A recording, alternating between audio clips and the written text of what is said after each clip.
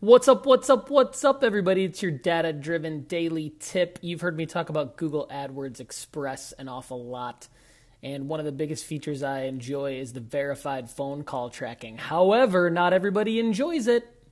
The reason I like verified phone call tracking is because it tracks how many phone calls your ad gets you. However, it does show a routing number. It does not show your actual business phone number. So if you have a problem with this, I'm going to show you now how to turn off verified phone call tracking. Let's take a look. It's pretty simple. So the story is that you have an ad running and it's got a routing number on it to track your phone calls, so you don't know what number is going to show. But now all of a sudden you want to show your actual phone number on the ad and not track calls. So let me show you that. It's actually not simple. It's super hidden to find. Check this out.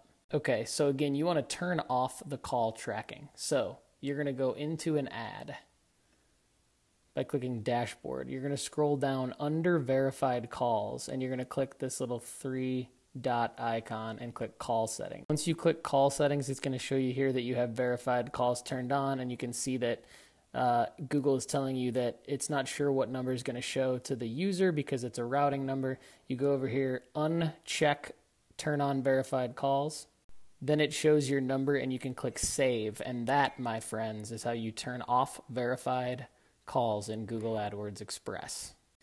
This has been your data driven daily tip.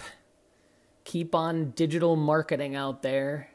Keep on using data to drive results. And have a great day!